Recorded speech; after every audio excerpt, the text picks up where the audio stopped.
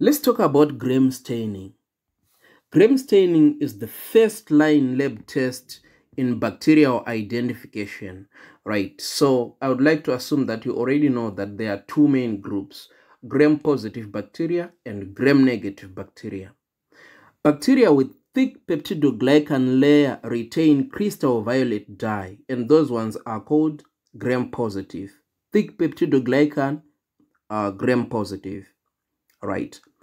Bacteria with thin peptidoglycan turn uh, red or pink, and those ones are called gram-negative, right? So they turn uh, red or pink with counter stain, right? But there is another group. This group, uh, like it cannot be uh, stained using this method of gram staining, right? So here I just want to uh, tell you those bacteria and then I will give you a mnemonic how to remember those bacteria, right?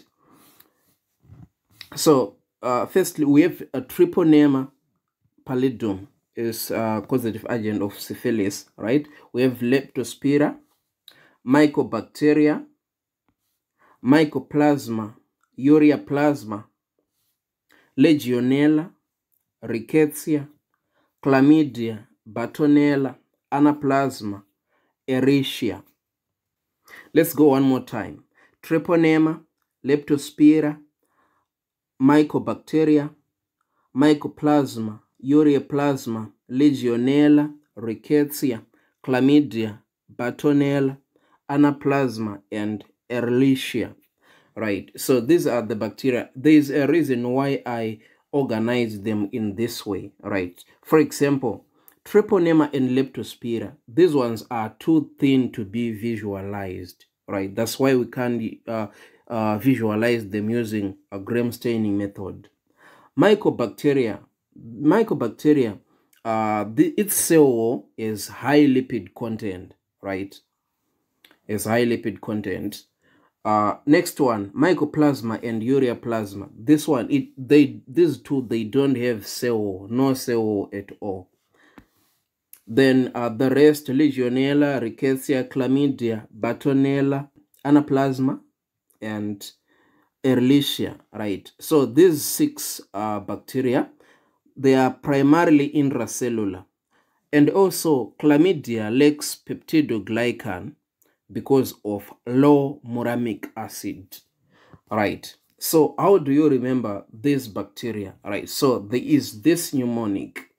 These bugs do not gram stain well, right? These little microbes may unfortunately lack real color but are everywhere. These little microbes may unfortunately lack real color but are everywhere, right? So you can see here, T, this one is for Treponema, Leptospira, Mycobacteria, Mycoplasma, uh, Ureaplasma, Legionella, Rickettsia, Chlamydia, Bartonella, Anaplasma, and Ehrlichia. Thank you so much. If you like this video, please make sure you subscribe so that you don't miss any of our latest videos. Until next time.